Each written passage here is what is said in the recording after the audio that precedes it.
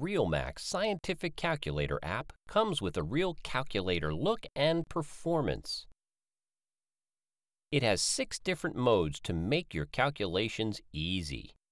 Use the scientific mode for your common scientific calculations. If you need to draw a graph for an equation, change the mode to graph. Then enter your equation and press the equal button. Now you see the graph. If you need to solve a linear or quadratic equation, change the mode to equation and enter the equation. Then press the equal button. You can see the possible answers. Let's see matrix. For any matrix calculation, change the mode to matrix. Let's look at one small matrix calculation. First, define the matrices. Define matrix A first,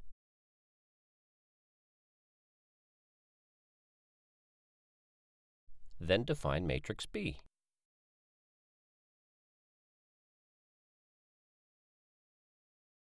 Now, let's multiply matrix A by matrix B. Wow! Super simple. You now see the answer matrix. This calculator is totally free. It may show a maximum of two ads in a day to support the development. If you get annoyed with the ads, you can upgrade to the Pro version. It doesn't show any ads. Make your calculations easy. Download the RealMax Scientific Calculator from Google Play today.